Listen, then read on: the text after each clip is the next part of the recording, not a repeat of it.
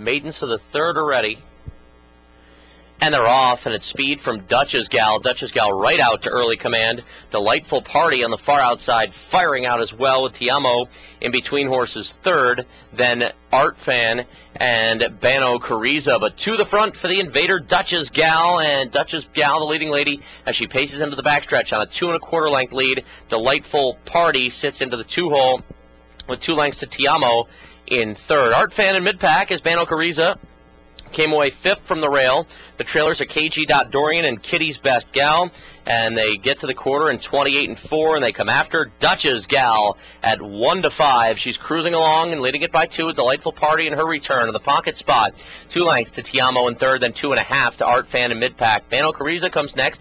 KG. Dorian is a little slow beginning and she finds herself in a seven and a half length hole as they pass in front of the stands. And at the caboose is long shot Kitty's Best Girl. And up top it's Dutch's gal. Dutch's gal the face of the field and setting a moderate pace getting to the half in 59 and 3 with a 30 and 4 second quarter. So Dutch's Gal continues to do the early leg work, besting Delightful Party still by two, two more to Tiamo. There's been no change in that top trio as KG. Dot Dorian starts the trek on the outside. It's on a steady gain, but still a lot of ground to cover for her. She's to the outside of Art Fan, nothing from Kitty's Best Gal and Bano Cariza. So it's Dutch's Gal, now Tiamo gathering momentum, powering out of third for Beckwith to take a shot at Dutch's Gal, who's had a walk in the park to this point, now being urged on through three quarters and 129 and 3. The third quarter was 30 seconds, and it's Dutch's Gal trying to finish what she started. Tiamo getting closer on the outside.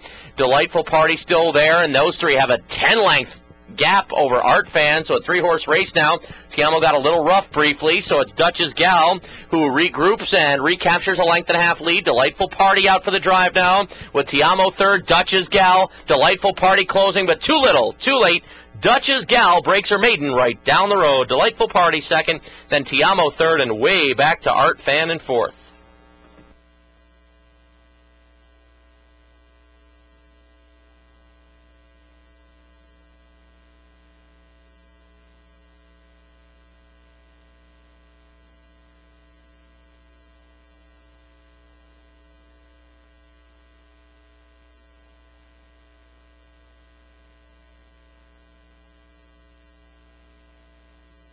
Back to the winner's circle, number three, Dutch's Gal, owned by Gary Bury of Gillette, New Jersey, and the VIP Internet stable of Piscataway, trained by Amy Haley, and catch driven to victory by Dan Capello Jr.